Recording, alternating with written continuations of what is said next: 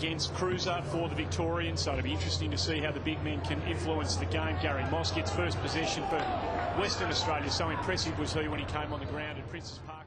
Gumbleton was mi mixing up and down the ground last week. Would you Yeah. have expected Everitt to play forward, or is that Now, Everitt would normally play in defence. He's Okay. a defender, back pocket, uh, cross at centre half back. WA McNamara managed to take the defensive mark? Bit interesting to get your comments too on the matchup. It looks like they're going with Anderson from uh, Vic Metro at a great game on Sunday against Moss, who had 30 possessions. Pops it up. Why wouldn't you? Looking for Hawkins, two on one. They're going to be conscious of him. Leuenberger for WA. Good hands at ground level. Was calm and composed. He shares it with Uh, he's genuine ruckman size in terms of his height. He's over the, he's about the 202 centimetres, uh, six foot eight in, in the old. Increasing in its support. You probably can't see it from the monitor, but there's a large contingent of supporters and scouts and agents and all sorts of people, just inter interested spectators on our side of the ground. The game, let's see if Hawkins can add this string to his bow. If he's got some skills in the ruck department, he certainly had the body to outpoint Leuenberger, and that takes some doing. He's a lump of, he's a lump of a lad, the West Australian. Last year for WA at under 18 level, was a star at under 16 level, and was a member of the AIS AFL Academy, and we saw him close up through that series against the Irish two years ago. Ball in the middle of the ground. We'll get down to Damien Marnie soon for an update from boundary side as soon as we get a stoppage in play here. Leuenberger for WA shares it now. Virgo was the intended receiver, but Hawley. And, and when you've got such good ones as Vic Vic Metro do, then uh, very rarely they're going to be outmarked. So you've got to have those players in position to crumb and, and finish off their, their contested footy. Leuenberger showing a good Ace. turn of pace as he ran around the outside of that pack, read the loose ball very, very well. It's More, and I That's think that's uh, probably an important aspect of it. Hawkins, sorry, Shifter. I was just going to say, Dixon's run 100. He's far too sore, and they've ruled him out for the rest of the match. Well, that's a blow for Brock O'Brien, who would have had such high hopes coming across and being able to show the football world what he's got to offer. And Brock O'Brien playing at senior level over there at Peel Thunder as well with Gumbleton, coached, coached there by Chris Waterman. So once he recovers in the next week or two from the hammy, Yep. he's still got the rest of the, the waffle. About to start. You're on AFL.com.au thanks to BigPond watching the NAB AFL Under 18 Championships from Skilled Stadium. And just as David Dixon said, not letting them. Leuenberger, very impressive when he jumps. It goes over now to. As well as he would have liked. Uh, he's capable of really kicking a bag full. Gee, that was exciting stuff. Give my boys a pump, Kevin, every time they And why not? Leuenberger goes with both hands and gets it on the second bite over the top of Kreuzer. He's uh, growing in stature in this game. Young Matthew Leuenberger goes towards centre half forward. Vic Metro have got the numbers. Ball comes down to ground. Nine handballs received, so he's doing a lot of work and running when he hasn't got the footy and being rewarded with a lot of possessions. An excellent tackle by Collard. Do you look at the size as well as what he does when he gets the footy? Is all that something that you process? I think they do. Uh, sometimes uh, I don't think it's as relevant as what it's what it's made out to be. A lead by eight, but it's a much better second quarter performance by WA. Jetta tackled without the himself in a bit of space on his right foot. Here Leuenberger drifts into the contest. Can't take the mark down to ground. Hawley was there for Vic Metro. Couldn't take possession. Leuenberger yet another good second or third effort at ground level. Couldn't get the handball away. We've got to throw in. Let's go down to Damien Marnie down at ground level. Damo? Thanks very much, Andrew. Just an update on Dean Kelly. We saw him before with the ice on the knee. The physio said uh, he received a knock, but he was very cagey as to whether he'd be coming back on. He said he may come back on.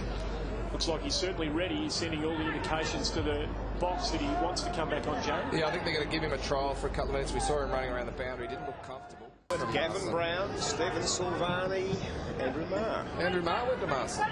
We can get many. We haven't played. Oh, yeah. yeah. Love to go. Get me within Selfish. five metres and I'd never miss.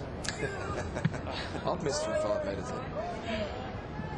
Everitt, brother of Spider, of course. There's some genetic similarities. It's the Irish uh, earlier this year and had a very good series overall.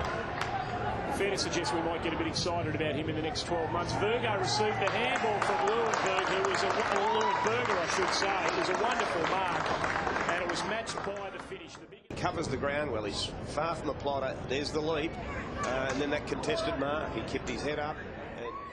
Their own way in the first quarter again. Gumbleton in the clearance gets the handball out. There's Leuenberger. He can't take the mark. Big tackle by Riddle from Vic Metro, but another one forward for Western Australia just. And that was the, the finish that uh, on Hawkins that he had the other day, straight through the centre. He's kicked one three so far, and he missed some pretty gettable opportunities in the first quarter. Virgo's. I knew the temptation was great for you, but you resisted it nicely. Anderson runs onto the ruck contest. Tries West Australians are putting all the pressure on, and this is the time you really see who goes, makes good decisions under heat. Under the heat of knowing you're about to be tackled, you push toward the boundary line and you can't get on your preferred foot, and who can really make a great choice of the way to use the footy. But uh, as we go to the break, there's a little bit of feeling out there. impressive for Metro, but the momentum going to the halftime break was certainly with Western Australia. The father son rule, his father Noel had played at Claremont, but that rule has just tightened up a little bit, and uh, Jared is now not eligible under the father son rule, so he's in the draft. Midfield as well. Uh, and look, he doesn't fumble the ball, he's courageous, uh, probably has got enough tricks. Um, so, mum, Okay. and, and uh, yeah, so, and he's got a great hunger to, to want to play. It's uh, excellent in that area. Leuenberger wins the tap. Hawkins roved it beautifully, gets it out now to Vasilevsky. He shares it. with- Has been an umpire's man, there's no doubt about it. It's amazing that he didn't poll more votes in a Brownlow medal. Vasilevsky back on the ground. Moving okay there, Andy. He's moving nicely now. Masten goes to Colber for three-quarter time. Badly needed. Leuenberger couldn't take the mark. Reading it best was best. Wayne Harmes type, I reckon. He's just got those fast twitch fibres, a strong body. Armsy could roost it as well. Hawley on the left boot. Brought my binoculars. Leuenberger wins the first tap out. Anderson runs onto the loose ball again, stands under the ball, waiting for something, getting someone to release it to, finds some space, wins the hard ball. Leuenberger with an important fist. Jared Malloy applauding that. Palmer now clears the danger area. Jetta. Dawes pushing up, contesting against Leuenberger. Contest is on. Dawes continues to follow the footy and does it nicely. I speak about that uh, at quarter time. They don't want to allow the space over the back for the West Australians to run onto it because their pace and use of the footy will, will certainly hurt you. Leuenberger was outstanding. Uh, I beg your pardon. Uh, for Masten. He drives it towards centre half forward. Leuenberger in front. Allen keeps him out. Leuenberger's done some good work when the ball's hit the ground. A chance here. Stumble. Dick tried to let the ball come to him. Didn't really anticipate. Goes to Vez Premi. He's confident when he's got the ball in his hands, Vez Premi. Leuenberger can't take the mark. It's down to Grant Benjamin. Shares it with Palmer. Back to Dick. Dick now goes back to Masten. They're overhandling the footy on the negatives.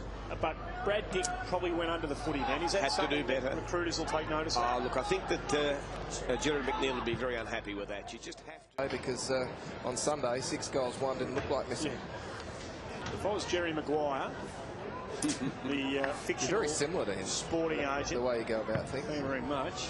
I would be making an absolute beeline to Tom Hawkins if somebody hasn't already, some sports agent hasn't already signed him up. Baggers, and they need it all at the moment. Leuenberger gets his fist to ball. He's done some good work. McNamara a chance on the left foot, runs onto it. Looks for. It's skilled what the West Coast Eagles Oh. did to the Cats. I like it, Kevin. I like it. Maybe that could have been mentioned among the, the group in the last number of minutes. Well, if they can kick another one quickly here, all sorts of possibilities will present themselves. Victoria Metro are. Fantastic with his attack on the footy. And uh, as we've discussed, unselfish play from Hawkins. Outstanding four-quarter performance by Backer Hawley. Collard. The conditions that Dean Dick would have experienced in WA. Faster, bigger grounds. Here, quite slippery underfoot, a hell of a lot colder. All those factors come into it. Nice grab from Leuenberger in a big pack of players. He specul- speculatively pokes the ball back inside 50. How you pronounce it, I thought he's been very good, and I like the way that he uses the footy. Uh, Bacco Hawley's been outstanding. I think he's probably been the best player on the ground today. For WA would be the Indigenous trio of Sean Colbung, uh, Clayton Collard,